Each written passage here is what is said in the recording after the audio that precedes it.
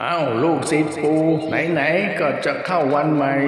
สักการะใหม่ ก็ขอให้พวกมึงมีแต่ความสุขนะ ปู่อยู่บนนี้ ปู่เห็นว่าใครทำดีทำบุญทำกุศลไว้เยอะปีใหม่ข้างหน้าที่จะถึงนี้ พวกมึงจะได้รับพรจากปู่นะ พวกมึงจะอยู่ดีกินดีโรคภัยไข้เจ็บที่มึงเป็นอยู่กันทุกวันนี้ จะได้หายวันหายคืน เงินทองที่มึงขาดสน ต่อไปนี้มึงจะเพิ่มพูน จะมีเงินเต็มกระเป๋า เงินจะเต็มบ้าน ค้าขายมึงก็จะดีวันดีคืน ลูกค้าก็จะมาติดมึงนะ ใครที่มีการงานธุรกิจอยู่ห่างไกล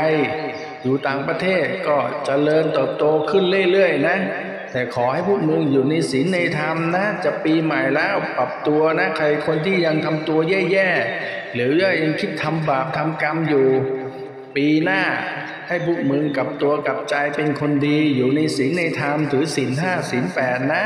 สวดมนต์ไหว้พระก่อนนอนทำสมาธิ แล้วทุกอย่างมึงจะดีขึ้น ชีวิตมึงจะเปลี่ยนแปลงครั้งยิ่งใหญ่นะ ปู่มาเตือนปู่มาบอกแล้วนะ